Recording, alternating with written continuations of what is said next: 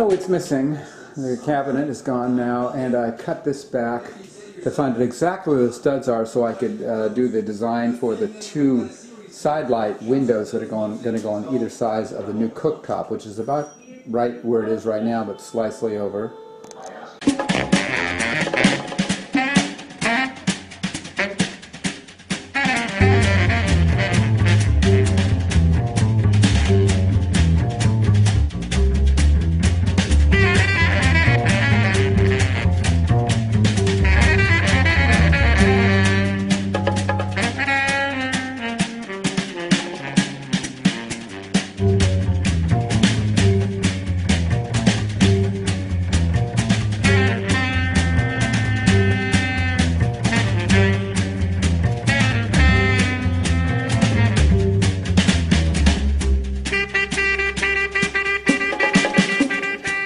Well, here it's done.